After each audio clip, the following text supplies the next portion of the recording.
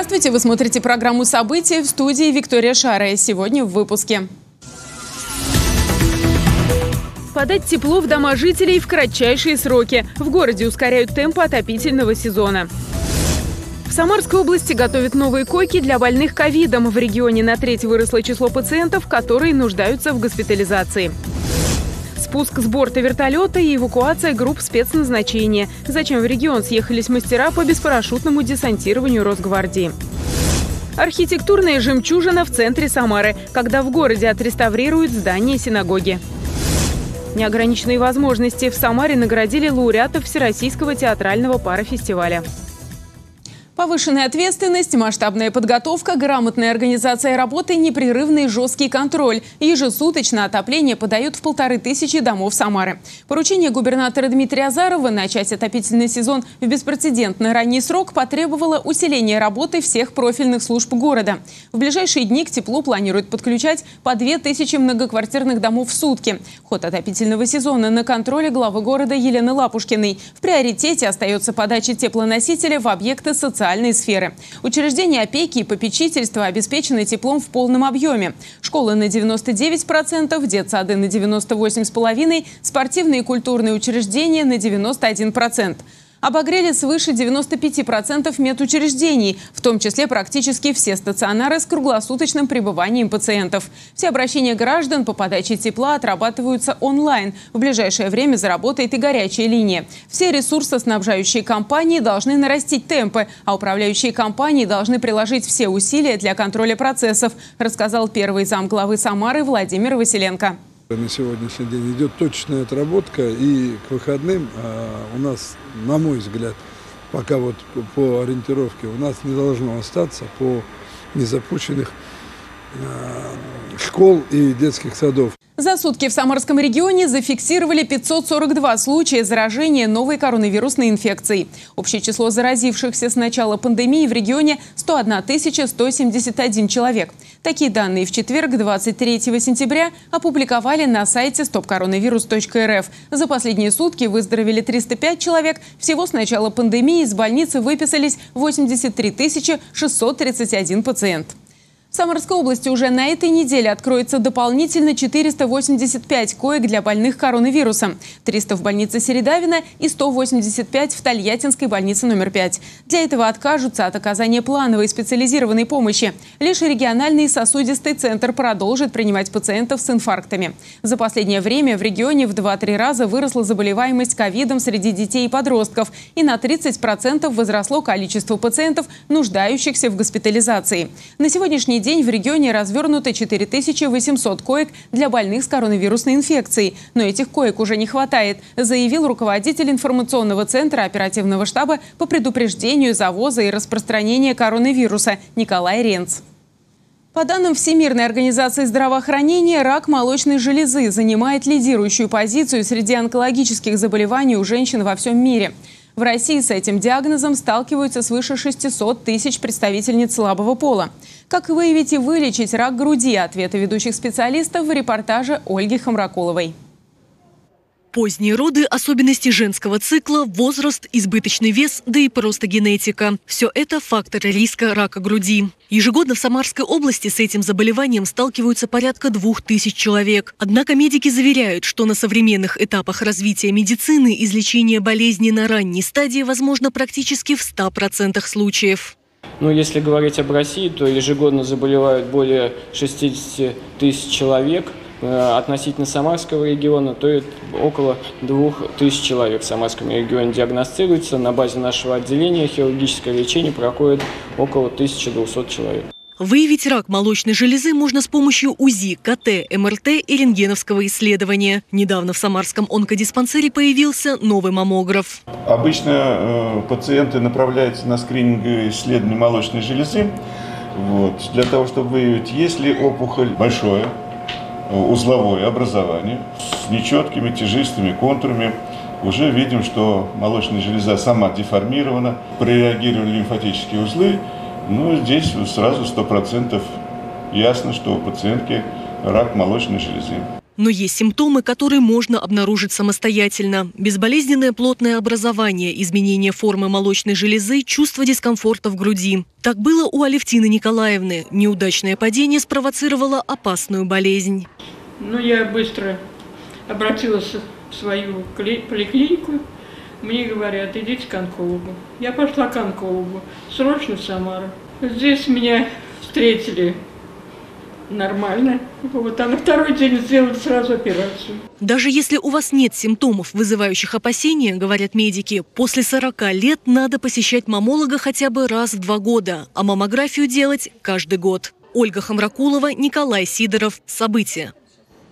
В Самарской области уже 16,5 тысяч родителей получили подарок для новорожденного. Бог совсем необходимым для первых месяцев жизни малыша вручают с 1 января прошлого года по инициативе губернатора Дмитрия Азарова. Акцию «Подарок новорожденному» продлили до конца 2023 года. Каждый набор «Наше сокровище» включает в себя средства гигиены, одежду для малыша, постельные принадлежности, фотоальбом, а сам бог затем можно использовать как коробку под игрушки. С нашим атаманом не приходится тужить. В Самаре определили лучший казачий кадетский корпус страны. На финал смотра конкурса в город на Средней Волге приехали 10 коллективов из разных уголков России. На протяжении трех дней команды сражались за победу. Кто победил, узнала Мария Левина. Виктор Нормаев очарован казачеством с юных лет. После того, как в седьмом классе прочел роман «Тихий дом» Михаила Шолохова, решил поступать в казачий кадетский корпус. Начал готовиться, тренировать физическую форму, и все получилось. Казак должен быть смелым, сильным и разносторонне развитым. Э, в первую очередь для казака важна честь. Вместе с товарищами Виктор принял участие во всероссийском смотре конкурсе названия «Лучший казачий кадетский корпус». В течение нескольких дней 10 лучших команд страны сражались за победу. В Самару приехали кадеты из Краснодарского края, Московской, Кемеровской и Ростовской областей. Действительно, на протяжении трех дней лучшие кадетские казачьи корпуса соревновались между собой за звание стать лучшим в этом текущем 2021 году. Этот конкурс уже на протяжении нескольких лет проводится ежегодно, несмотря на все ограничения, пандемийные вещи. Мы надеемся, что эта традиция будет продолжаться. Уже сегодня видно, и это мы отчетливо осязаем, результат этой работы. Ведь вы возвращаетесь на свои места, в свои станицы, на свою родину, на свою землю и показываете, передаете опыт. Было видно, что каждая команда выкладывалась для того, чтобы представить свои казачьи-кадетские корпуса действительно шла хорошая, упорная казачья борьба. На Самарской земле гостей поприветствовал губернатор Дмитрий Азаров. Хочу в первую очередь поблагодарить организаторов конкурса за принятое решение проведения финала конкурса здесь, на Самарской земле. Я рад поприветствовать всех кадетов, которые пробились в финал, и уже с этим достижением вас можно поздравить. Вы проявили свои знания, свои духовные стержни для того, чтобы добиться этого результата. Глава региона наградил лучших. Третье место получили ребята из Ростовской области. Самара взяла серебро, а первыми стали кадеты из Краснодарского края. Мария Левина, Григорий Плешаков. События. Этой осенью в Самаре началась реконструкция века. В порядок приводит здание, которому уже более ста лет, хоральную синагогу на улице Садовой. Когда горожане увидят результаты, расскажем в сюжете. В начале 20 века в Самаре появилось уникальное здание в мавританском стиле – хоральная синагога. На тот момент она могла сравниться красотой лишь с синагогой в северной столице. В городе на Средней Волге строительство пришлось на экономический бум, когда в Самаре промышляли хлеботорговлей и строили железную дорогу. На возведение места для молитвы ушло 50 тысяч рублей. Для сравнения, даже на уникальный особняк Курлиной в стиле модерна ушло 16 тысяч. Спонсорами постройки выступили еврейские купцы. Однако своему прямому назначению здание прослужило недолго, лишь до 1928 года. Позже здесь располагались дворец культуры и хлебозавод. Сейчас, спустя десятки лет, в Самаре принялись исправлять ошибки. Проведены работы, самое главное, по демонтажу и приведению в первоначальный вид э, самого здания, каркаса здания.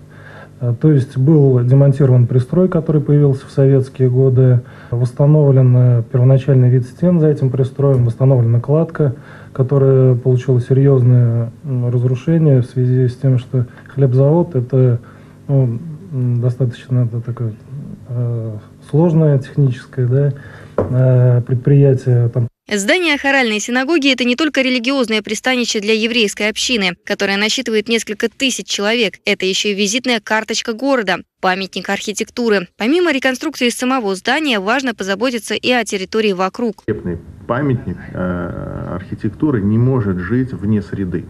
Да? То есть если мы э, отреставрировали синагогу, рядом э, ветхие дома, то э, он, он не раскроется. Мы должны э, при, принять э, меры к тому, чтобы э, реновировать окружа, окружающую застройку, подтянуть до этого уровня, э, создать там среду, в которой комфортно и жить, гулять и, и, и отдыхать. Десятки исторических зданий снова введены вот в культурный и, по сути, гражданский оборот. То есть это те места, вокруг которых э, самарские жители всегда отличались своей креативностью, они отличались все-таки свободой нравов. Привести в порядок синагогу строители рассчитывают к 2023 году, когда Самарской синагоге исполнится 115 лет. Мария Левина, Сергей Баскин. События.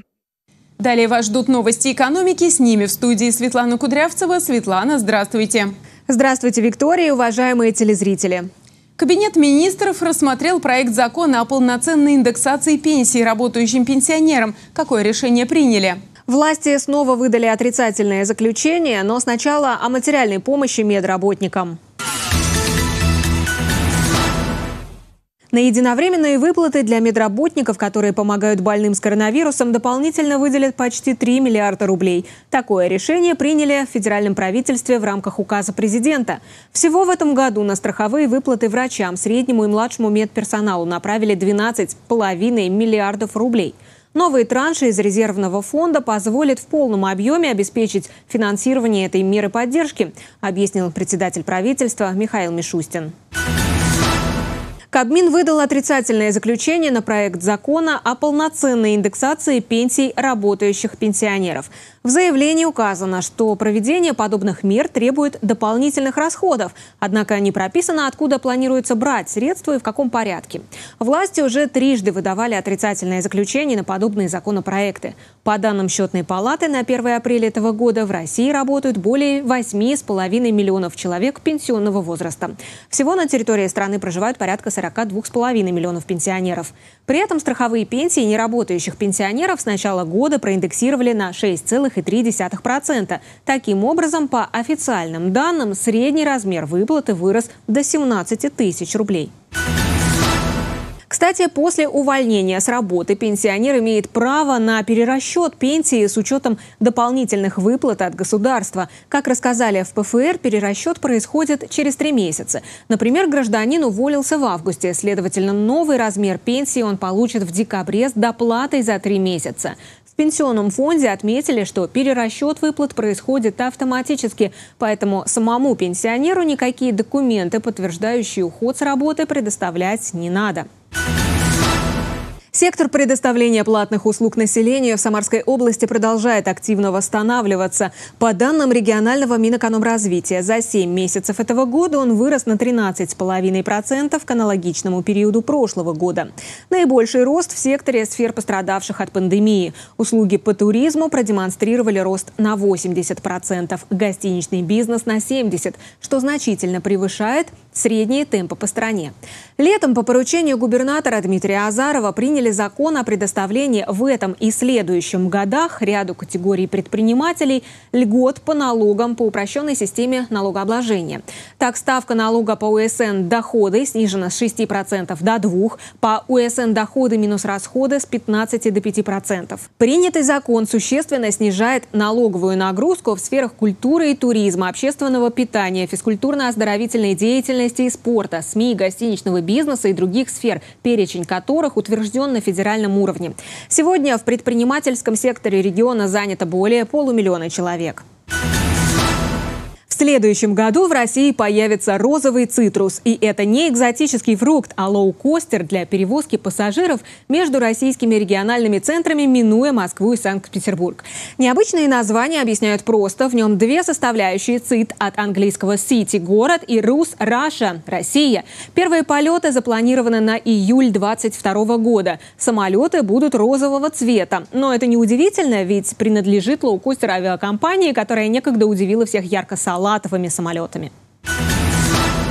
Официальный курс доллара на 24 сентября 72 рубля и 72 копейки. Евро 85 рублей и 20 копеек. Нефть марки Brent 75 долларов и 84 цента за баррель. На этом пока все. Оставайтесь с нами и будьте в курсе. Россия с 5 октября возобновляет авиасообщение еще с пятью странами. Это Дания, Джибути, Новая Зеландия, Перу и Южноафриканская республика. Об этом сообщили в оперативном штабе по борьбе с коронавирусом. Также решено увеличить количество рейсов в Японию, Киргизию, Узбекистан, Бахрейн и Таджикистан. В частности, авиакомпании смогут летать в испанский Тенерифе и в индийский Гоа.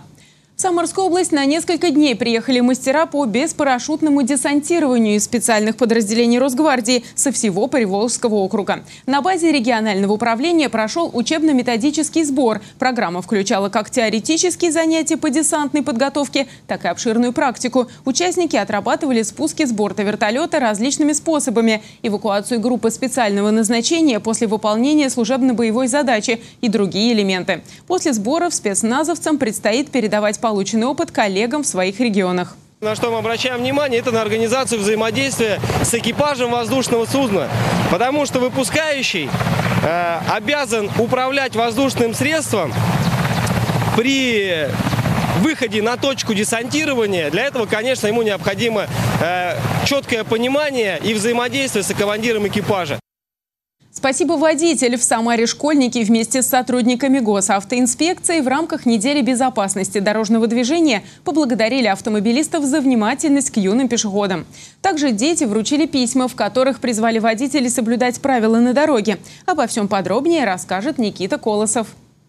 Житель Самары Вячеслав Большаков каждый день ездит на работу через пост ГИБДД на Московском шоссе. Сотрудники госавтоинспекции его останавливают нечасто. Но в этот раз, после проверки документов, инспектор попросил пройти вместе с ним. Увидев детей с плакатами, Вячеслав очень удивился. Как оказалось, школьники решили поблагодарить водителей за проявленное к ним внимание на дороге. Увидел, что дети собрались, поэтому было приятно даже подойти. Подарили вот такой буклетик, напоминание водителю, как бы всегда соблюдаю, а тем более сейчас очень приятно, как бы вдвойне.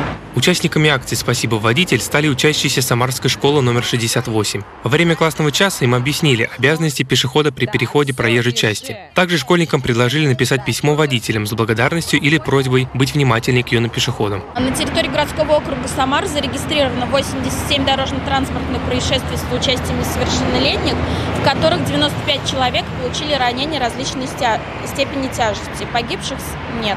Акция «Спасибо, водитель» проходит в рамках Всероссийской недели безопасности дорожного движения. По всей стране школьники вместе с сотрудниками госавтоинспекции проводят рейды, которые нацелены на повышение внимания водителей к детям на дороге. После летнего периода, когда дети отдохнули где-то за городом, не было автомобилей, некоторые позабыли уже и правила дорожного движения. Это как бы напоминание им самим, что необходимо это соблюдать. И у детей это все откладывается. На родительских собраниях мамы и пап просят построить для детей безопасный маршрут от дома до школы и обратно, а также несколько раз пройти по нему с ребенком, чтобы объяснить, как правильно и безопасно добраться до места назначения. Никита Колосов, Николай Сидоров. События. Далее коротко о других темах дня. В Самарской области возбудили уголовные дела по фактам летних пожаров в Борском районе. Одно из дел завели по факту отсутствия противопожарной опашки населенного пункта гвардейца по статье «Халатность». Оно находится в Следственном комитете. Второе дело ведется отделом надзорной деятельности регионального управления МЧС по двум статьям – уничтожение или повреждение чужого имущества, а также уничтожение и повреждение лесных насаждений. По данным источников, дела возбуждены по фактам без конкретных лиц. Напомним, в августе в Борском районе загорелась трава, огонь перекинул накинулся на дома. В Гвардейцах сгорело 14 домов, в Немчанке 16. Служебный пес помог раскрыть дело о краже. Жительница села Бестужевка Приволжского района обратилась в полицию после того, как ее частный дом обокрали. Забрали деньги и питание. Ущерб составил 7 тысяч рублей. Для поисков привлекли кинолога, старшего сержанта полиции Александра Логачева и собаку по кличке Один. Пес уже через полчаса привел к дому преступника. Мужчина сознался и сказал, что проник в дом, увидев, что хозяев там не было. Злоумышленнику грозит штраф, принудительные работы, либо лишение свободы. АвтоВАЗ будет поставлять машинокомплекты для сборки автомобилей в Эфиопию. На первом этапе планируется собирать по крупноузловому методу до 5000 автомобилей в год. В дальнейшем выпуск нарастят в два раза. Следует из сообщений пресс-службы эфиопской компании. В восточноафриканской стране намерены освоить всю гамму «Лады» – модели Гранта, Веста, X-Ray, Largus, Нива Легенды, Нива Travel. В Самарской области прошла осенняя ярмарка самозанятых. Для жителей города это возможность познакомиться с интересными самарскими брендами и приобрести товары ручной работы, украшения, игрушки, сладости, косметику и многое другое. Всего на осенней ярмарке были представлены 32 проекта самозанятых. За два дня работы ярмарку посетили более тысячи человек. До конца года пройдет еще один подобный маркет. Мужчины чаще, чем женщины, признаются в прокрастинации, то есть в откладывании дел до последнего. Чаще всего до лучших времен оставляют решение мелких жизненных и бытовых вопросов, учебу и дела на работе. Россияне поддаются прокрастинации, надеясь на наступление более благоприятного момента, либо по причине перегруженности. Женщины чаще, чем мужчины, прокрастинируют из-за страха потерпеть неудачу. 15 коллективов победителей не только из 63-го региона, но и из других городов страны. В Самаре подвели итоги Всероссийского парафестиваля «Театр. Территория равных возможностей». Проект, зародившийся два года назад, призванный показать, на что способны люди, возможности которых принято считать ограниченными, получил поддержку правительства страны. Подробности в нашем сюжете. Театр. Территория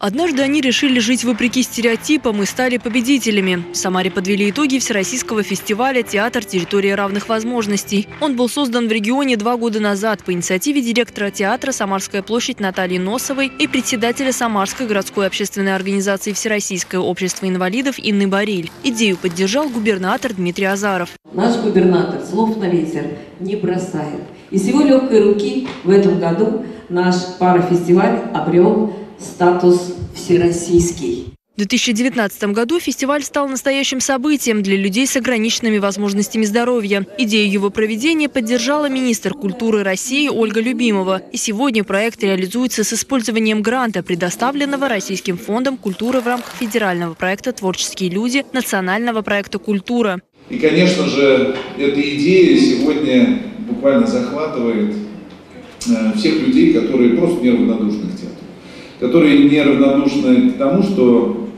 искусство, творчество живет в каждом человеке. Этом году заявки на участие подали 56 коллективов не только из Самарской области, но и из других регионов. В числе участников творческие группы из Санкт-Петербурга, Уфы, Казани, Екатеринбурга, Хвалынска, Воронежа и Ижевска. Показы спектаклей проходили на сценах театра «Самарская площадь» и Самарского театра кукол. Все, что связано с инвалидами, почему-то считается, если спектакль, то инвалид для инвалида. Ничего подобного. Творчество наших ребят, и взрослых, и детей такого качества, что любой зритель, придя на это мероприятие, получает очень большое удовольствие. Самое главное – стимул жить и дальше двигаться вперед. Среди победителей в разных номинациях 8 коллективов из Самарской области и 7 из других городов. В номинации за талантливое создание образа мира непохожего человека победителем стал театр танца «Непохожий» из Самары со спектаклем «Я», который был представлен на закрытии фестиваля. Очень хочется отметить, это повышенный интерес, который стал вообще проявляться к особым театрам, к инклюзивному творчеству, вообще к инклюзивной культуре. И то, что к нам сегодня, вчера, позавчера приезжали гости из других городов, а, это расширяет наши возможности расширяет а, способность наших самарцев воспринимать а, особых актеров как полноценных членов общества и как полноценных представителей культуры как таковой. В планах организаторов привлечь к участию в фестивале новые города, как можно больше творческих людей, неравнодушных к театру. А чтобы это стало возможным, подать заявку на участие в конкурсе президентских культурных грантов на следующий год. Мария Илчан, Виктория Шара. События. На этом наш выпуск завершен. Все наши новости читайте на нашем официальном сайте Самара ГИС, в нашем телеграм-канале и на страницах в социальных сетях. Всего вам доброго и до встречи!